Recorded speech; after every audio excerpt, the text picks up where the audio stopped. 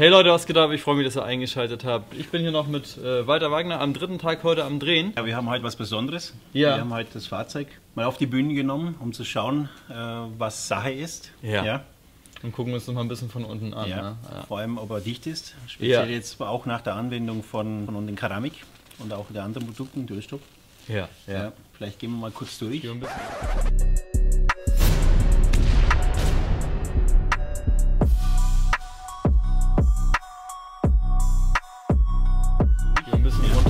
Das Auto mal gemeinsam an. Also wir haben schon ein bisschen vorgeschaut.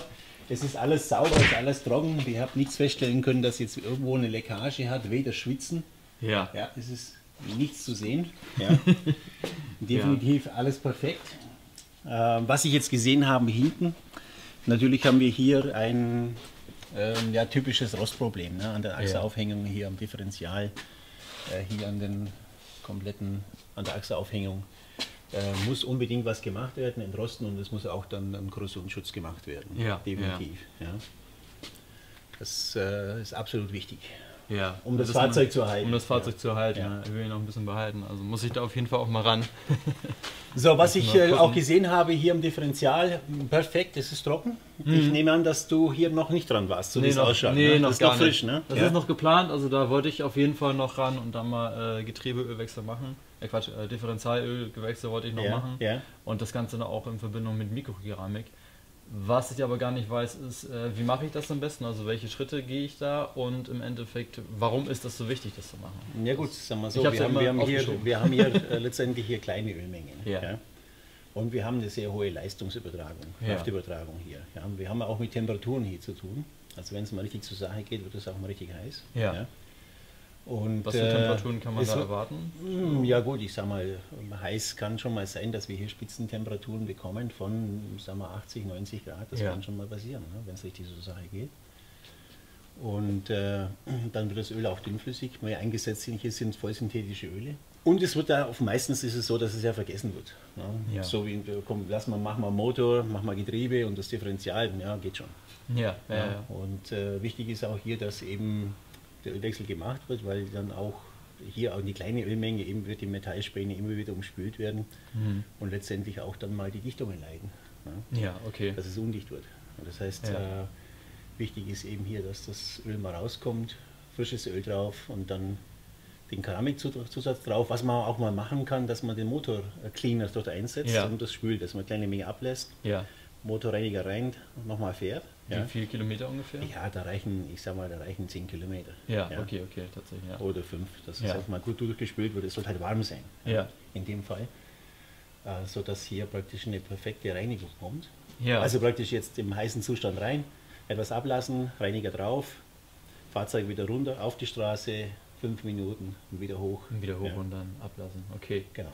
Ähm, Macht es auch Sinn, wenn man da Schwierigkeiten hat, Eustop zu verwenden? Wenn jetzt hier zum Beispiel eine kleine Leckage wäre oder sowas? Da Ja gut, der Ölstopp ähm, ist ja gerade hier prädestiniert für solche Fälle. Ja, tatsächlich. Klar. Also im Prinzip, wenn man Ölwechsel macht, ein bisschen Eustop dazugeben, wäre Ja, sogar von Vorteil. Kann man machen, ja. Okay, Ist zu empfehlen. Ja. Ja, ansonsten, ansonsten habe ich jetzt so nichts gesehen. Ja, da können wir mit Aquastop drauf, ja. Ja. Das ist natürlich billig gemacht, schauen Sie her. Schau, doch. Das ist Russen, Russenelektronik. Das ist unglaublich. Wahnsinn, ne? Und das bei BMW, ich habe das auch schon mal Hier, hier kommt dringend Wasser ein. Ja, Ja, das komm, ist ein das billiger machen Ding, das eine richtige Scheiße hier. Hast du das Ding auf der. Ich, hole mal den Aquastop Elektrospray. Ja, komm. In diesem Zusammenhang haben wir gerade noch eine Sache vergessen und die ist uns noch aufgefallen, als wir unter dem Auto standen. Und zwar ähm, haben wir hier ein, zwei Elektronikstecker, sag ich mal, die hier Ja, oben stehen. ja. So, Wagner meinte hier gerade, das ist hier die Russentechnik. Nein, Oder Russenelektrik. Russenelektrik. Also, und wenn man das anschaut hier, Genau. also das ist das, schon. das blende ich gleich mal ein. Und da haben wir auf jeden Fall noch Möglichkeiten, äh, da was zu machen. Also, also, was ich jetzt empfehle, gerade bei solchen ähm, Stellen, Ja. die jetzt offen liegen, ähm, haben, haben wir ein Produkt entwickelt, das nennt sich Aquastop Electric. Ja. Ja. Das ist jetzt ein äh, wasserabweisendes Kontaktspray. ja. Und verhindert letztendlich Korrosion an elektrischen Kontakten. Okay. Insbesondere die jetzt eben massiv unter äh, ja, der Atmosphäre ausgesetzt sind. Ja, Also, ja, ist gerade hier unten am also Unterboden. Also das heißt, man kann hier Direkt. Warte, Ja. kommst du mit der Kamera rum? Oder ich kann man das hier mal?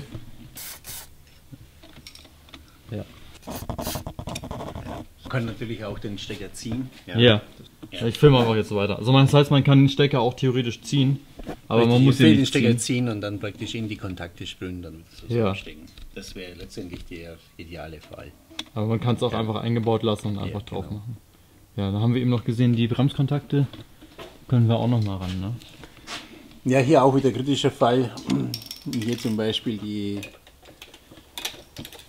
dass man hier das nochmal, dass man hier was reinspielt, hier sauber macht, ja, Ja. und gut ist. Ne? Ja gut, man kann natürlich auch das Spray benutzen, um äh, zu reinigen.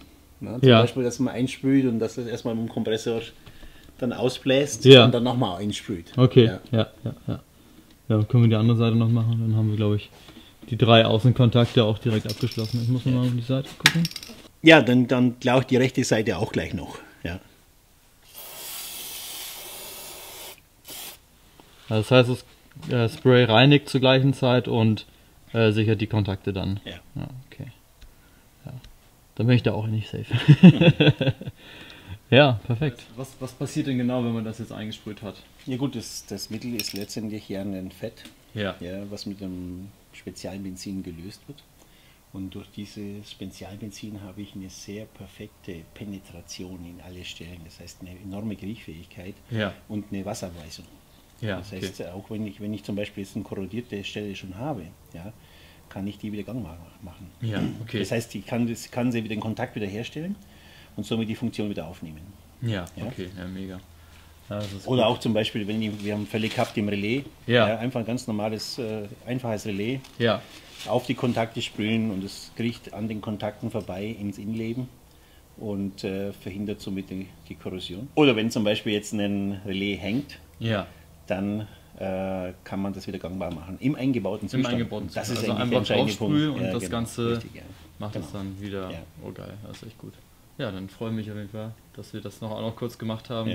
Ja. Und äh, ja, das war ein kleiner Einschub. und weiter geht's. Okay. Ja. Lagerspiel, alles in Ordnung. Ja. Ich habe gesehen, du hast Gewindefarbe da drin. Ja, das kam gerade ganz neu. Ja. Ja. Ich habe ihn noch mal ein bisschen an den, an den Gewinden noch mal ein bisschen weicher gestellt, dass Ja. ich für die Rückfahrt nicht so auf der Autobahn herumfliege. Dass nicht der Kanaldeckel Ja, ja, im ja. Kreuz ist. Ne? ja. Ja, Aber es okay. macht schon ordentlich was aus. Ne? Ja, ich habe mal drei Klicks einmal geöffnet, war Ja. schon ein ganz anderes Ja. Fahrwerk. Ne? Das ist schon, Ja. schon ein geiles Okay, Fahrwerk. Ja. Ansonsten, äh, ja, da ist ja alles am Start ne? und äh, gefällt mir auch ganz gut. Also dafür, dass das ein Auto aus 2005 ist, außer die Rostprobleme, das Auto kommt aus der Heide, ne? also in der Nähe Ja, von der Ostsee, ja. da ist auch sehr viel Salzluft gewesen. Das heißt, Ja. man hat hier und da immer an den Ecken ein bisschen äh, Korrosion einfach. Ne? In dem Zug kann man auch mal die, Ja. auch mal die Schweller nachdenken, dass man hier Korrosionsschutz macht. ja, Und äh, mal in die A- und die B-Säule hochgeht, dass Ja. man hier was macht. Ja, somit perfekt. Mal. Ja. Wunderbar. das ist schön. Ja. Das heißt, wenn wir auf der A und B-Säule unterwegs sind, habt ihr da was, was er anbietet? Tatsächlich? Ja, es gibt also im Korrosionsschutzbereich äh, gibt es sehr viele Produkte. Ja. Und äh, die Oldtimer Markt hat ja in der Vergangenheit auch ein, sehr viele Tests gemacht. Ja. Und äh, Korrosionsschutztests, äh, auch Langzeittests mit Okay. Salzwasser. Ja. Hochinteressanter Test. Ja. Und ähm, das Einzige, was sich hier letztendlich herausgestellt hat, sind A mal Fette, Mhm. die man, also Korrosionsschutzfette, die man einsetzen kann. Ja. Jedoch ist es so, dass äh, das Einbringen eines Fettes natürlich eine Kunst ist. Und es Ja. gibt hier technisch nichts Ja. äh, Professionelles am Markt. Okay. So, und da habe ich jetzt schon äh, weitergearbeitet. Ähm, du weißt ja, ich beschäftige ich mich äh, mit dem Spezialfettpressensystem. Mhm. Und ähm, der nächste Schritt wird sein, dass wir ein professionelles ähm, sagen wir, Kit zur Verfügung stellen in Form von einer äh, professionellen Sprühpistole, äh, dort wo wir auch über einen Schlauch, ungefähr Ja. eineinhalb Meter bis Okay. kn- knapp zwei Meter, äh, in die Hohlräume rein können Ja. und eben dann entsprechende Mengen Fett applizieren können. Direkt durch. Ja, okay. Ich Also ohne Hitzen. Ja, ja, das ne? kommt noch. Das werden wir noch Ja. vorstellen. Das werden wir Ja. noch vorstellen. Das, das wird jetzt noch mal gut ein Jahr dauern, dann ist es soweit. Ja, okay. Und dann wird es auch eine komplette Videoserie geben über die, über die Anwendung. Ja. Was mache ich wie? Ja, okay, super. Ja. Und äh, letztendlich werden wir auch dann äh, die Fahrzeuge zerlegen. Deswegen haben wir auch äh, letztendlich hier investiert, Mhm. äh, eben in dieses äh, Gebäude, Ja. um hier äh, auch praktisch hier Testen, testen, die Einzelprodukte auch für uns auch testen können. Ja, ja. ja. das ist mega gut. Ja, Ja. Wie gesagt, ich habe mich halt um viele ne, Motortrockengetriebe, Schaltgetriebe, so da war Ja. halt mein Fokus drauf, dass die Technik funktioniert. Aber jetzt merke ich natürlich auch, als ich das Auto das erste Mal jetzt unter, also von unten gesehen habe, dachte ich, oh scheiße, das ist schon viel Rost. Also das sieht schon seit Anfang an, also ich habe jetzt auch Ja. jetzt vier Jahre, seit Anfang an sieht das so aus. Ja. Aber ich dachte halt so, ich habe mal einen gefragt, der meinte, ja, bis das Diff durchrostet, das dauert, ne? Hast du ja auch eben zu mir gesagt. Aber trotzdem jetzt mit dem, mit der, mit der Zeit, ich fahre mein Auto auch im Winter, also ist bei Ja, mir. gut, was wir noch ein mal machen müssen, werden zum Da halt Beispiel auch die ganzen die- ja, die Kunststoffabdeckungen, ja, ja. Ja, ja, praktisch dann den, dort, wo es ein Metall reibt, Ja. dass hier kein Rost kommt, das müsste man sich mit dem Detail nochmal näher anschauen. Ja. Was wir jetzt hier nicht machen können, dann müsste es jetzt ja auch machen. Ja, ja, tatsächlich. Ich habe noch einen äh, zweiten Satz Schweller zu Hause rumfliegen. Also die werden definitiv von mir bald mal runtergenommen, weil ich habe einmal in meiner Garage beim Hochfahren äh, da ordentlich die, den Schweller zerkratzt. So, und dann habe ich mir jetzt neue besorgt. Und die werde ich auf jeden Fall mal wechseln. Das heißt, die kommen jetzt wahrscheinlich nächsten Frühjahr, so wenn das Wetter gut ist. Nehme ich die mal runter, ne, den Unterboden und die Schweller und dann werde ich auch mal sehen, was da für ein Ergebnis auf mich Ja, wartet. ja. Vielleicht kann ich dir auch mal ein, zwei Fotos zuschicken und dann deine Genau, Meinung auch mal genau. einholen. Dann, Also mal, äh, ja, schaut ganz gut aus ich würde sagen, ne? sieht ganz gut aus. Ja. Technik haben wir immer, haben wir immer wichtig, dass die Technik gut ist von meinem Auto. Da Ja. lag immer mein Fokus drauf. Und äh, ja, es muss man ein bisschen an den Erhalt denken mittlerweile, denke ich auch. Ne? Gerade 2005er Auto.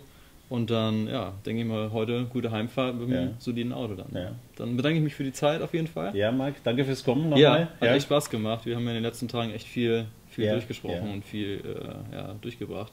Und ich denke, das war vielleicht auch für euch sehr interessant und ihr konntet das eine oder andere lernen und mitnehmen und äh, habt vielleicht ein paar Informationen sammeln können, die ihr noch gar nicht so richtig auf dem Schirm habt. Wenn ihr vielleicht irgendwelche Fragen habt oder sogar Erfahrungen habt mit, äh, wie habt ihr euren Rostschutz, habt ihr eine Hohlraumversiegelung, es, glaube ich, eine Hohlraumversiegelung gemacht, in welcher Art, wie sind eure Erfahrungen damit und äh, vielleicht seid ihr auch auf die Produkte von Wagner gespannt, die dann in Zukunft werden. Und würde ich mal sagen, an dieser Stelle verabschieden wir beide uns Ja. voneinander und von den Zuschauern. Ja. Danke fürs Zuschauen. Danke fürs Zuschauen, hat echt Spaß gemacht. Und, äh, dir, Marc, ja, gute Heimfahrt. Mach's gut. Dann ja. schön. Dann haben wir es Okay. soweit. Also, So, oh, go.